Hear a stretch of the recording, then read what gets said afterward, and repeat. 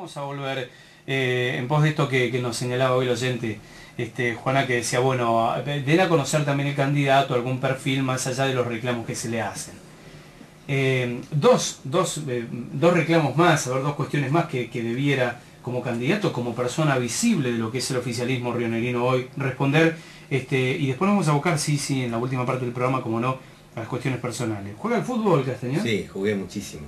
Pero, Muchísimo. Digo jugar al fútbol, no a la pelota, ¿eh? Ah, no. Al fútbol. Te voy a contar algo que no, no lo cuento muchas veces, pero imagínate, hace 32 años atrás, 33, yo tenía 15 años, y me llevaron a jugar a Buenos Aires.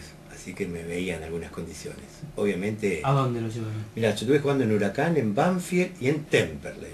Nunca me voy a olvidar. Estuve jugando ahí con, obviamente, las inferiores, me llevaron a probar Obviamente no quedé, sino capaz que estaría en este momento en algún otro lugar. Pero digo que me veía muchas condiciones, pero bueno, ¿De qué en entorno, yo jugaba de número 8, número 5, ahí era un mediocampista bastante, a ver, por un lado tenía cierta habilidad, pero también era un luchador, como soy en la política. Tiene que ver, eso, te marca, eso te marca en la política, ¿no?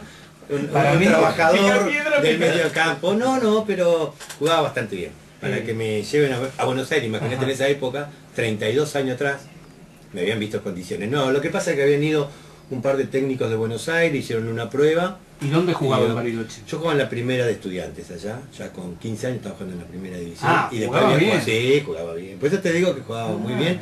Yo después estuve jugando regionales, hasta los 22 años que me casé y no jugué nunca más al fútbol.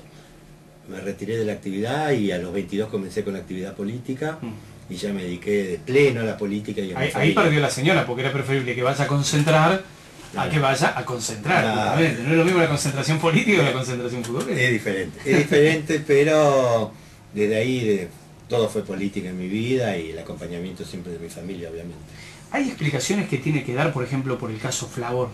Digo caso Flavor porque es uno de los emblemas de la oposición y de los cuestionamientos que se le han hecho al gobierno.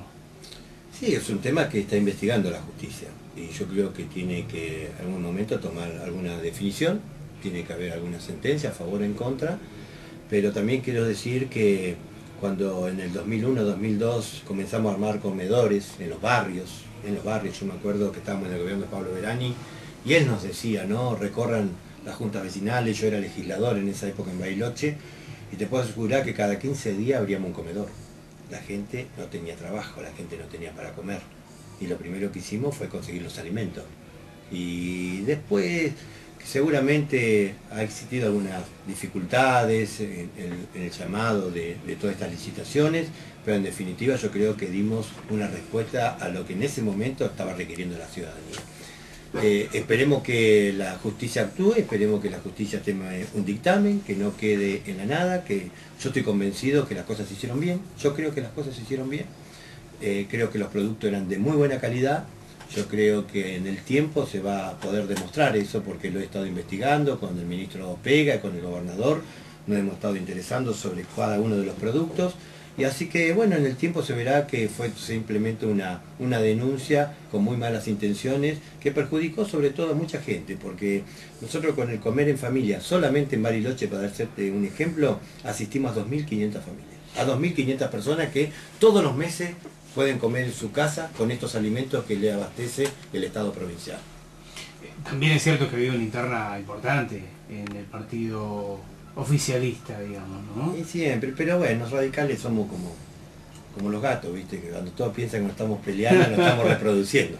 Y, esto nos ha dado a nosotros la oportunidad de, seguir siendo gobierno y de tener buenos dirigentes y, tener recambios dentro de los gobiernos y de la dirigencia eh, provincial y locales, así que siempre tenemos discusiones, somos de discutir mucho, de debatir muchísimo las cosas, y eso nos da vida. Yo creo que eso es lo mejor y lo más importante que tiene la Unión Cívica